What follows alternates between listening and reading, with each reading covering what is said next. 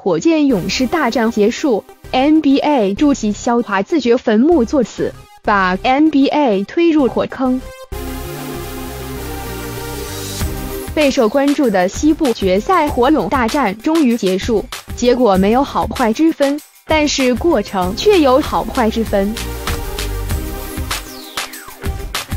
火箭勇士大战结束，火箭和勇士抢七大战之中的一个比赛细节，更加证实 NBA 主席肖华真的自掘坟墓作死，已把联盟推向火坑。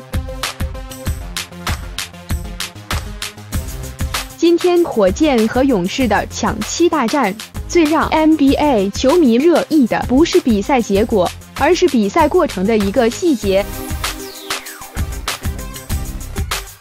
看过比赛的球迷都清楚，在今天抢七大战之中，第三节火箭被裁判多次错判漏判，浪费了非常多的得分机会，罚球。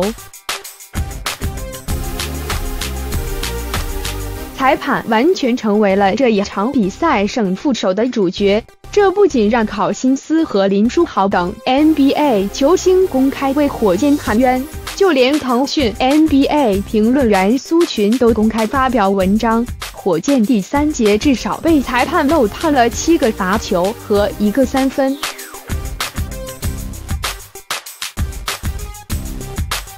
NBA 球迷可以接受勇士赢火箭的结果，但是无法接受 NBA 联盟裁判主宰比赛的结果。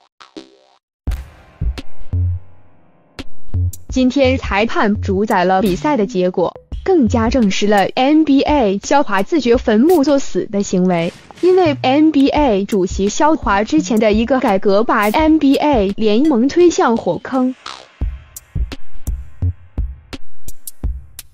不知道球迷对 NBA 博彩合法化改革有没有印象？NBA 主席肖华极力推行 NBA 博彩合法化，让博彩公司为 NBA 联盟提供巨额的利益。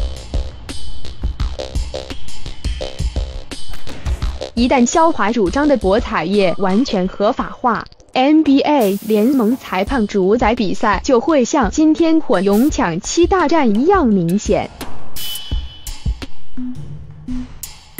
NBA 联盟原本就是一场生意，NBA 联盟和博彩公司一起在博彩业分红，NBA 联盟会更公平，裁判不会主宰比赛。